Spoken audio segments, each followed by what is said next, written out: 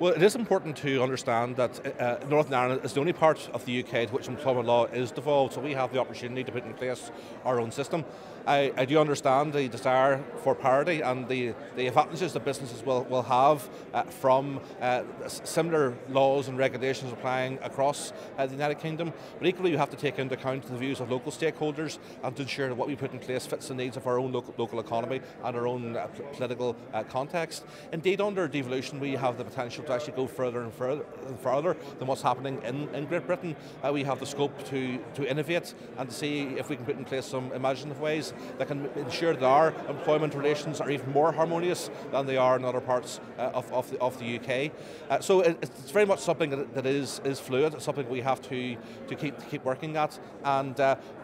hopefully we will produce a, an outcome that actually meets the needs of businesses, both large and small.